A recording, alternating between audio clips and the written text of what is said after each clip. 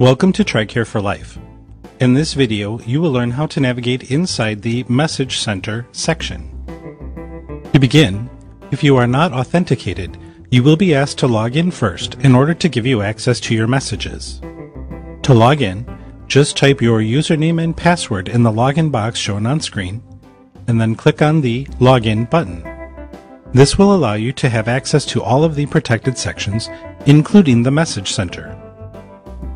By default, you will see a page display in all your sent messages ordered by status, subject, date sent, or update.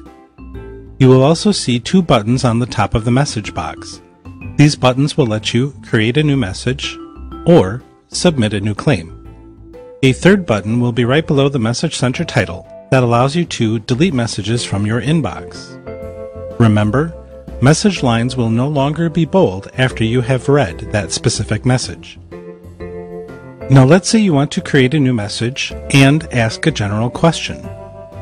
The first thing you need to do is click on Create New Message, then choose the General Question option from the subject menu. Remember, if the email shown in the From field has changed, please go ahead and update it by clicking on the Edit Email button. Once you do that, you will be able to write your question in the text box below.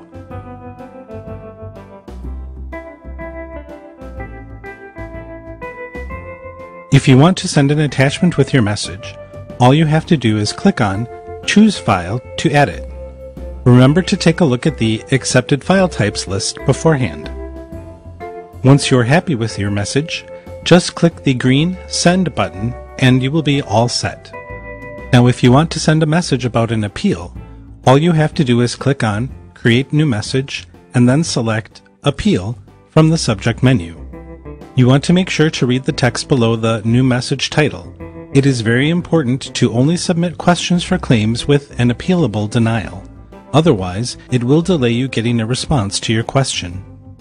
To continue, make sure to add your claim number, attach a file if you need to, and add the message as detailed as you can. Now just click the green Send button and you will be all set. Another feature of the Message Center section is the ability to submit a new claim. To do so, just go ahead and click on the Submit a New Claim button. Make sure to check out the very important information section.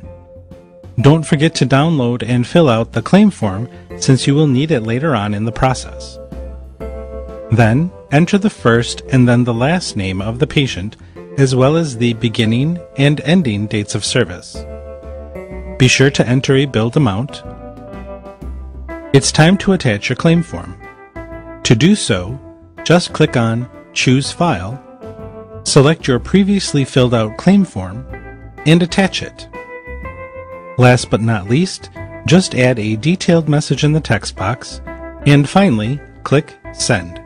You have now submitted a new claim. Up until now, we have covered almost everything you can do in the Message Center section.